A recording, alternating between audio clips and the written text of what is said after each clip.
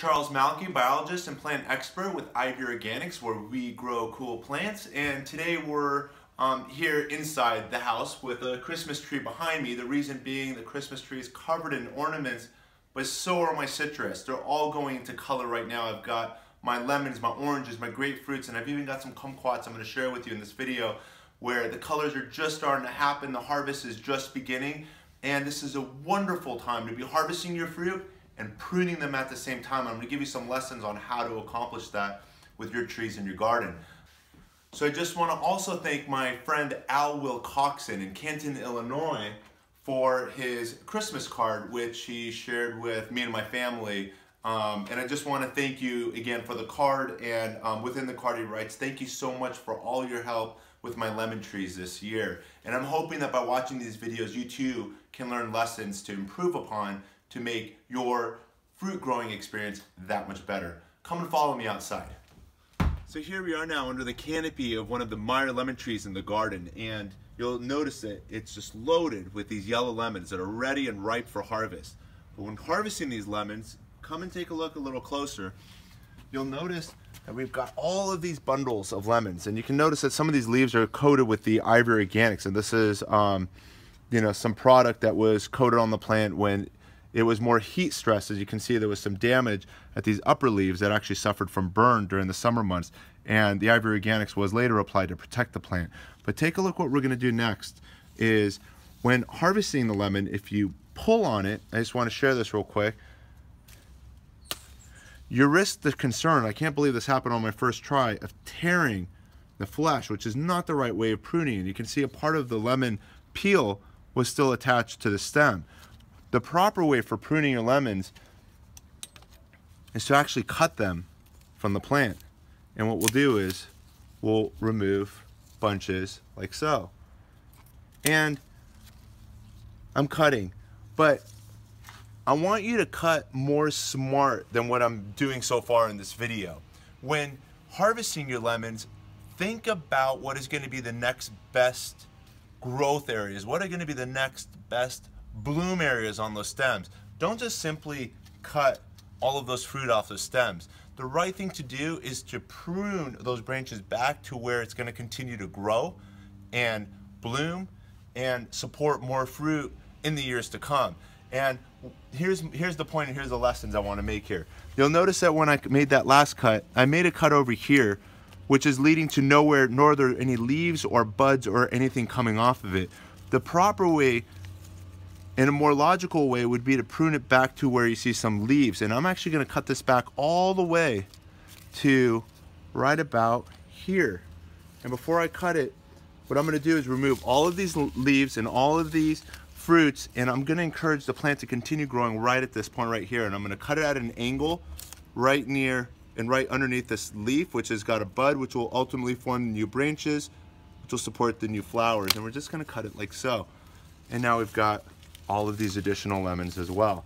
And then over here, there's another bundle of lemons. And I want these branches to all continue to grow and hang and, and support more fruit. But I'm gonna do the same thing with this bundle of lemons and just prune it like so, right here. And now what's gonna happen, and take a look at all of these lemons that we've got on just this one prune. And what we'll do when, when bringing them in the house is we're gonna now separate them like so. I'm just gonna cut it about a quarter of an inch right above. And this will be the perfect way to actually harvest your lemons and then store them. And you can keep them in a cool, dry place in your house um, for anywhere from 10 to up to 21 days. Um, so about two to three weeks they'll store. But with all the rest of these lemons, take a look at how many more lemons we've still got in here. They'll remain on the plant for anywhere up to two to four months and still be in good quality condition on the plant. So we've just harvested all of these lemons. We've got enough lemons now to support my family for at least the next seven days. And I want to make sure that the rest of my harvest remains fresh. The major concern that a lot of um, citrus growers always have is, when do I prune my citrus? They're always blooming, they're always flowering, and a lot of citrus are actually supporting fruit year round. There's always various different sizes throughout the plant. And let me share that with you as well that's happening on these plants as well. Check this out. You may have noticed um, some of the flowers that are happening here. Check out all of these blooms over here as well. Take a look. And among these flowers, you'll notice that there's some baby lemons that are getting ready to develop. And then these here are some blossoms.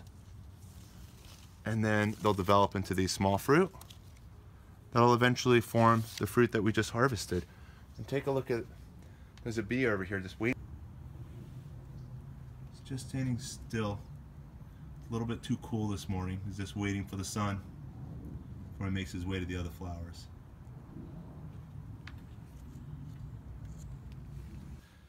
Over here I'm under the canopy of my semi-dwarf Eureka lemon tree. And take a look at all of the yellow fruit that are developing behind me. I've got a lot of yellow fruit and then I've also got some green fruit over here that'll be ripening in another few more months. Let's go harvest some fruit from the other side. Follow me. So here's a fruit that I'm gonna harvest. And I wanna um, draw an example again as well. This branch, which is coming off of the, a larger branch, it's not the tree trunk, but this branch is supporting this younger branch, which is coming down.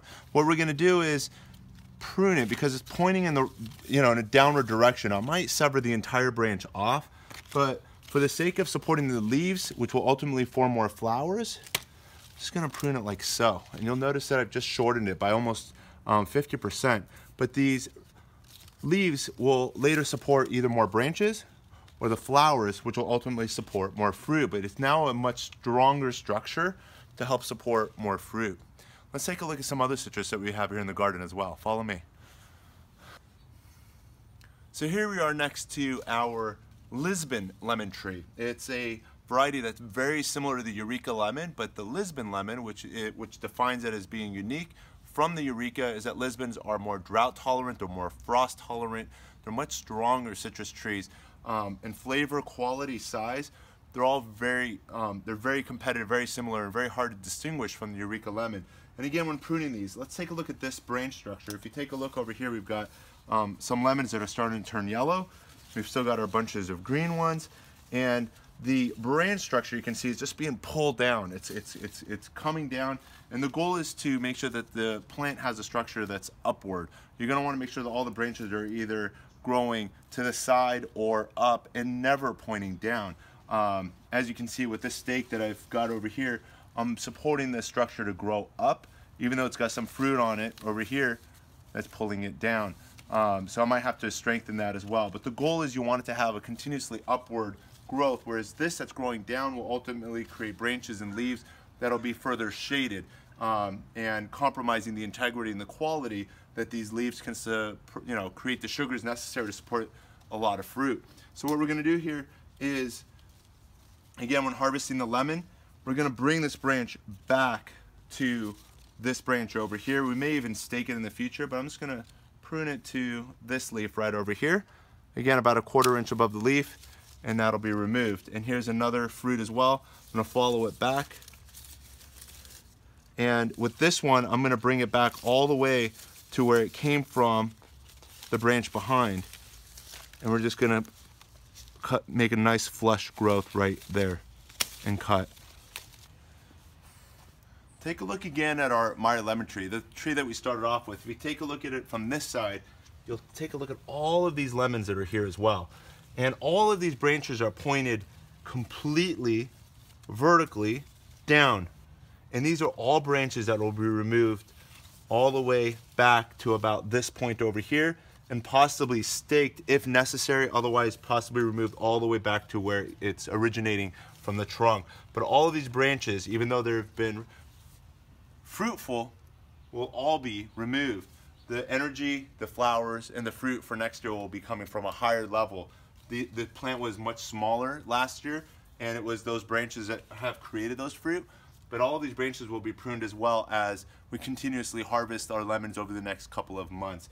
Um, so again, this is a wonderful time to be pruning, and at the same time, the plant is going to be flowering and creating the next generation of fruit that you'll be able to enjoy here in the garden.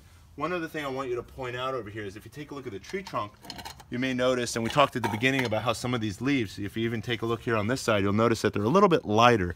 And these have all been sprayed with the IV Organics 3-in-1 Tree Guard um, in the summer to basically protect it from sunburn as the heat was just so intense that a lot of the leaves began to burn. We've had too many record high heat days um, to protect it, but it's more than just sunburn that is um, being protected with the IV Organics product. It also has oils that naturally repels insects as well as during the winter.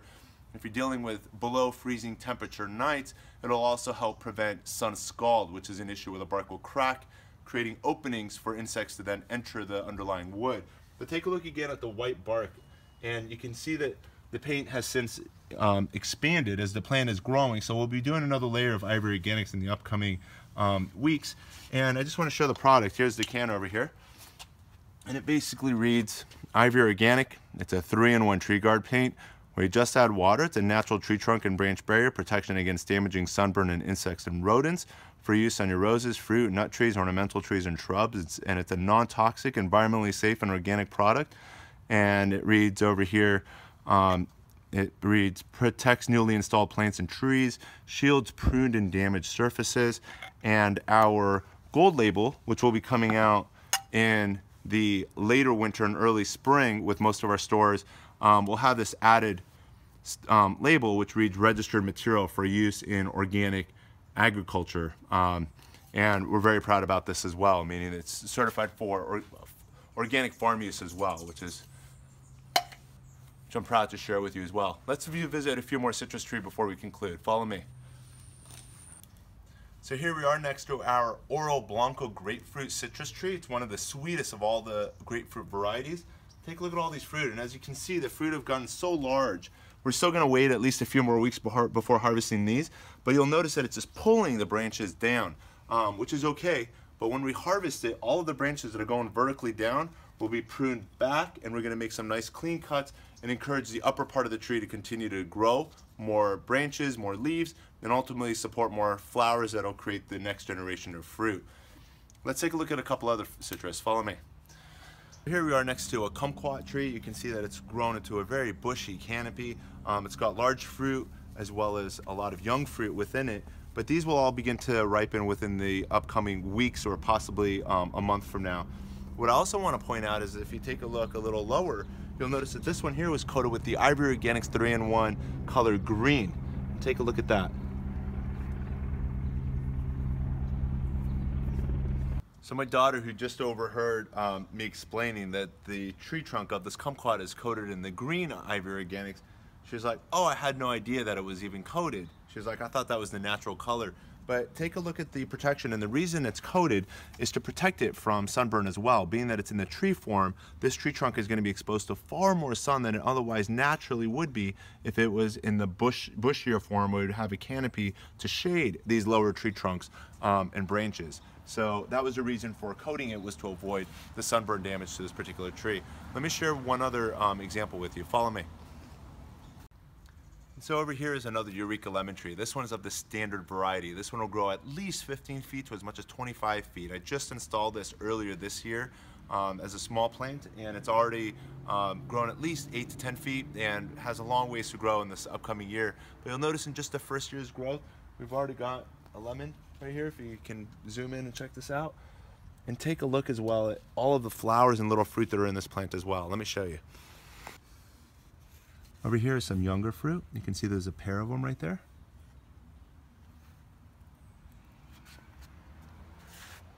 Take a look at those younger blossoms as well right here and right there.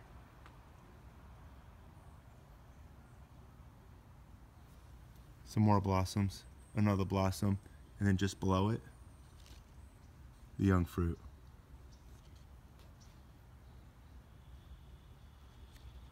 And another.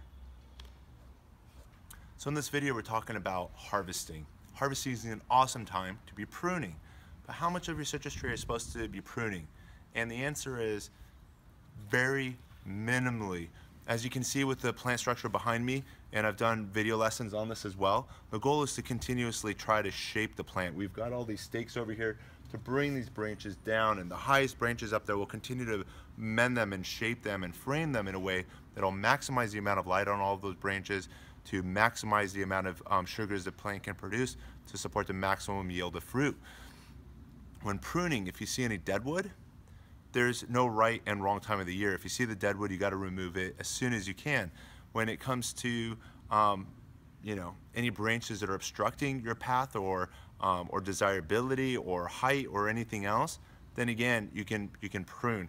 Um, generally, the goal is to keep your pruning limited to no more than 25% within any given year. So your pruning limitation should be very minimal. If there are any large branches you intend on cutting, winter would be the ideal time as the plant's metabolism is the slowest and the plant would risk far less stress than at any other given time of the year. The other thing too I want to share with you, and the reason I brought you to the front yard is I wanted to share with you all of these seeds. These are all California native seeds, and we're in California, hence we planted California native seeds. If you live in other parts of the world, find those plants that are native to your area um, and grow those. And what that'll do is attract all of the local biology. And we're talking about the entire ecosystem of insects and butterflies and birds and all the other pollinators that exist in your area and bring them into your garden to help also pollinate those trees and the fruits and the vegetables that you've got in your garden. So try to find native plants and introduce those in your, uh, into your garden. I can see that among these plants, um, one that pops right out is um, I've got these California poppy um, plants which will be blooming in the spring and I'll be sharing those with you soon. Um, just behind me over here is the Indian mallow and then to the um, right of that is the woolly blue curls, and that was covered in beautiful blue flowers. So we're gonna have our golden poppies with the woolly blue curls, and then the yellow Indian mallow flowers, and we're just gonna have a diversity of color. And the best part about it is they're all native. They've evolved over here over tens of thousands and millions of years and are superior to anything you can pick up at your local box store. So be looking for native plants and bring those into your garden as well to maximize the yields of your fruits and vegetables in your garden the upcoming year. So if you've enjoyed this video, be sure to like it and most importantly subscribe down below so you'll be connected to all the other educational gardening videos by IV Organics. Thanks again for watching. Happy gardening.